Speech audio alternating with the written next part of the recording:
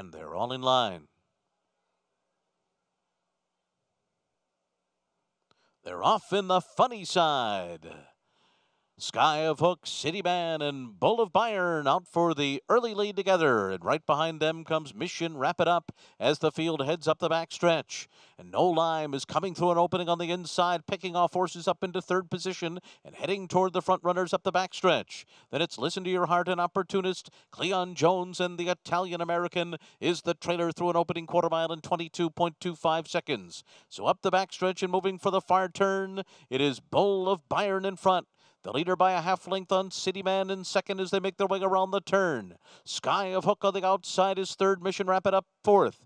No Lime fifth on the inside. And Listen to Your Heart is going up outside of horses. Now with three and a half lengths to make up on the far turn.